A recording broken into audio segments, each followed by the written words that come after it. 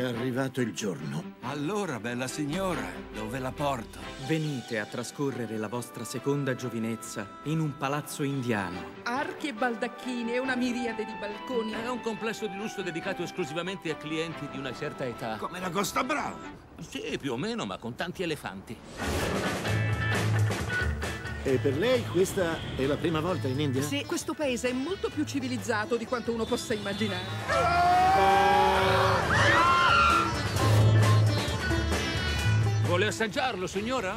Dovrebbe chiamarsi Alu Aluca Parata. Non so neanche pronunciare il nome, figuriamoci se lo mangio.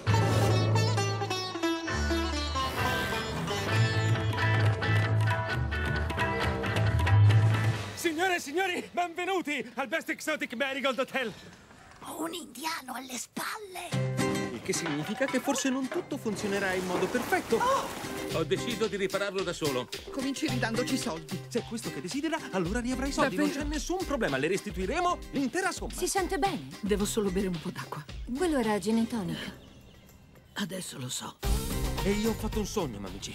Creare una casa di riposo così bella che i nostri clienti non vorranno più morire. Quest'uomo è morto. Sono all'inferno.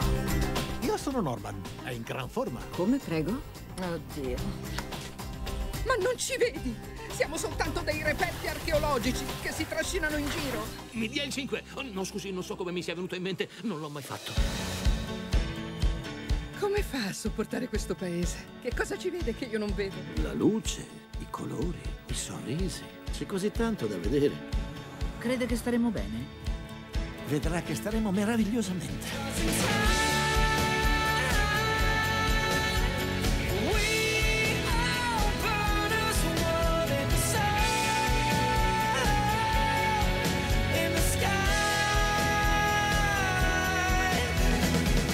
Naina andrà tutto bene alla fine.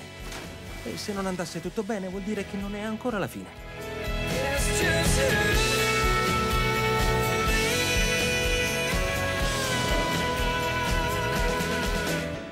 Ma non ha paura di fare sesso alla sua età? Se muore, pazienza.